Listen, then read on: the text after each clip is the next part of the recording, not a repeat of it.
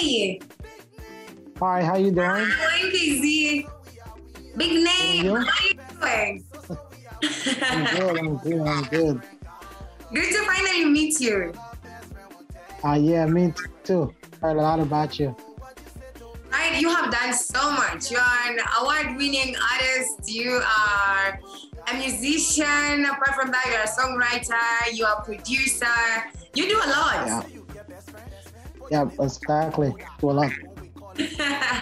All right, now let's just get right into it. Now you are you are you grew up you are in Ghana at some point at a refugee camp, and that's where your music journey started. So tell us about that. Oh yes, so uh, I fled from Liberia, my family and I, when I was young, because of the uh, the civil war back home in Liberia. Yeah, so um, we went to Ghana. So that's how I started doing music. Met a producer in a barber shop, and then I was uh, at that time I was doing a freestyle on a hip hop beat, and then the producer like, oh, this sounds good. Uh, can can we work together? I'm like, yeah, we can give it a try and then that's how we um we drop a single and then when i drop a single it went like really big all over africa so that's how i got in the game Right. Transition between Liberia and Nigeria. How did that happen? uh there's a it's a lot of changes you know because now now uh, my fan changes uh, I, I got a lot of new fans and then um being being out of liberia is a very big it's very it's very big challenging for me you know like getting to not really changing your kind of music, but you have to be able to to um to dedicate what people you know to, to be able to uh, deliver sorry what people what people want to hear nowadays. And then for my kind of music, I do is like a typical traditional Afro kind of beat. So it's like I have to change a little bit, bring the Afro with the new style, getting to meet new people, you know, new, new producer and everything. It's very challenging for me. Every, other song that was being produced in Liberia was all about war and politics, but that was something different.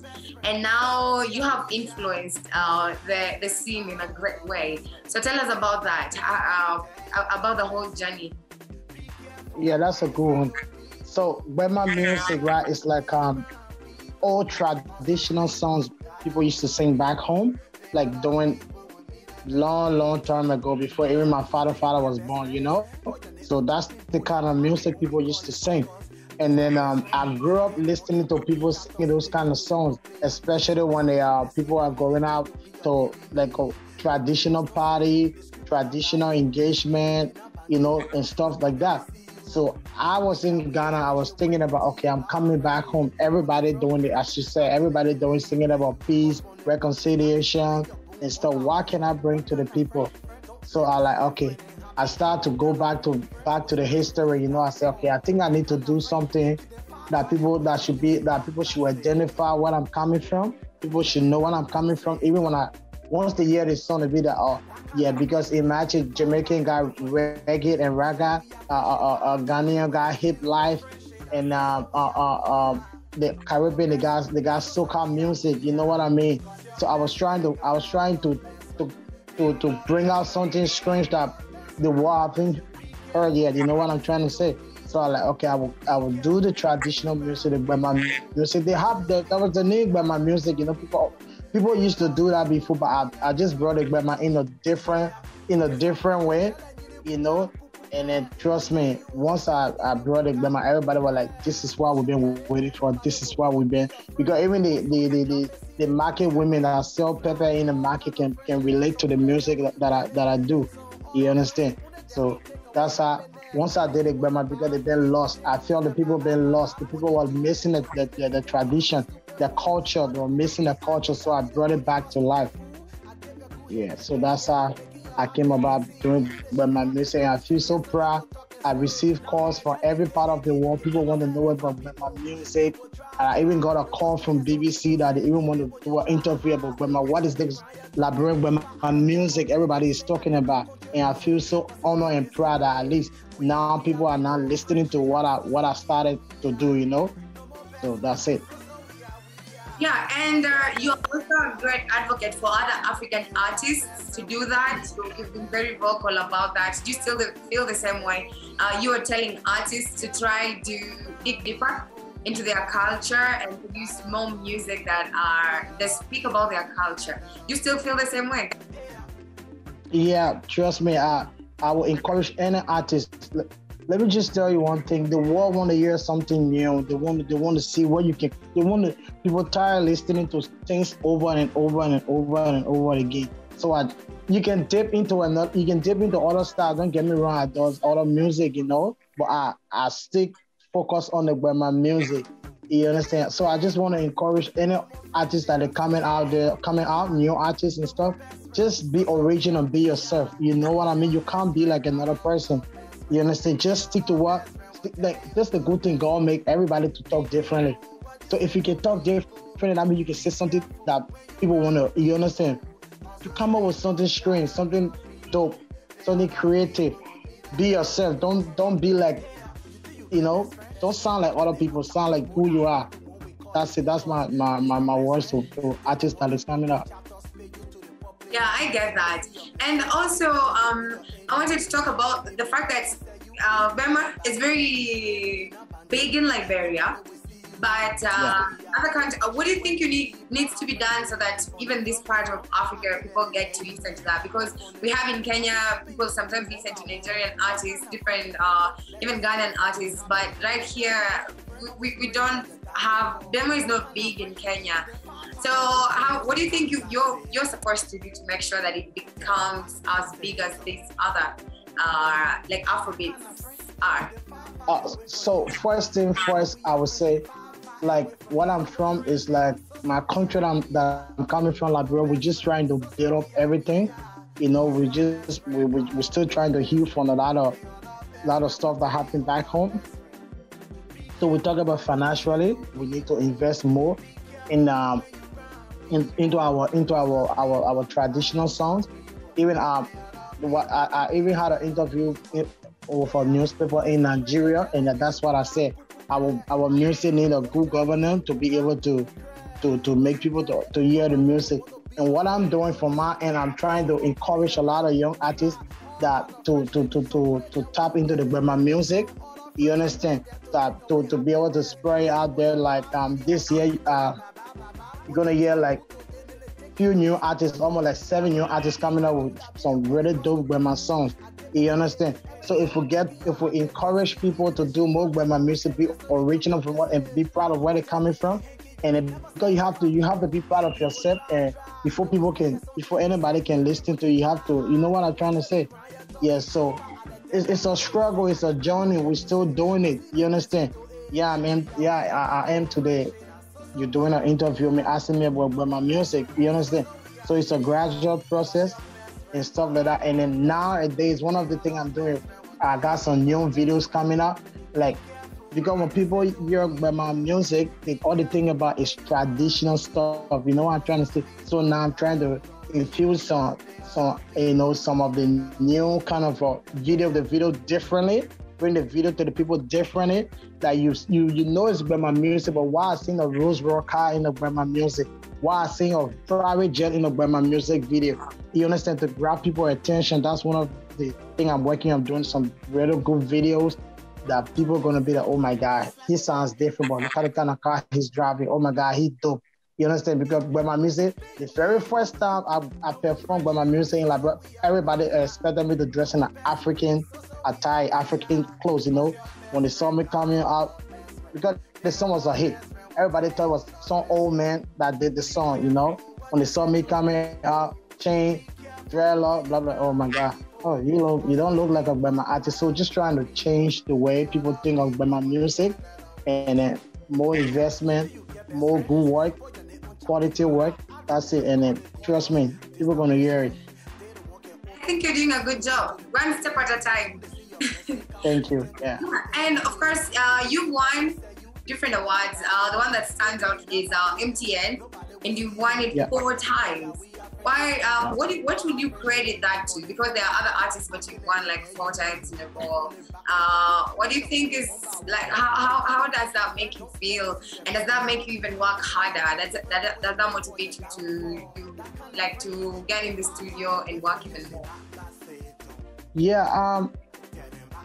Like I that the year I won the four award, I worked very hard. You understand? So it was not it was not something that was surprising to me. You know what, I, what I'm trying to say? Because I work a lot that year. Everybody was playing the songs all over, and I work with the top producer that uh, at, that time. I, I, featured some really good artists, so I expected that.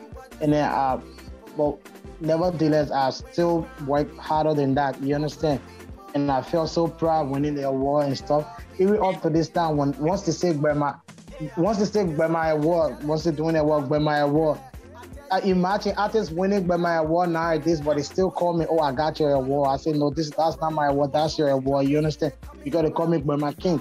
You understand? So I just I, I just told them like, yo, you guys have to encourage the young artists that coming out to Give them some award. You understand? I can't just be winning by my artist of the year every year, by my song of the year. You gotta encourage. I, I was honest with them. Also, we have to encourage the young artists that is coming out to it just shouldn't be about Kzee, Kzee, Kzee, Honestly. That's why before I drop up my music, I wait I wait some time for for uh, for for another give some space for other artists to do some songs, you know. Because trust me, once I drop up my song, no matter what, it turn out to be a hit. And I'm about to drop another one before my tour in the US. It's gonna be like, trust me, like a hot kick. So feel so proud that at least I'm getting those awards and stuff. Congratulations on that. So you had taken a break from music for a while and uh, then you got back. It's good to have you back. What was happening at that time as we were winding up? We just we're just curious. Uh, at that time, I just came to Australia. I was trying to settle one or two stuff, get myself together. And I was I was getting my studio equipment. I was trying to understand the industry in Australia trying to, you know, give give give it some time. You understand? So I just gave it a year, and then that the one year I gave the music like my phone was blasting every day.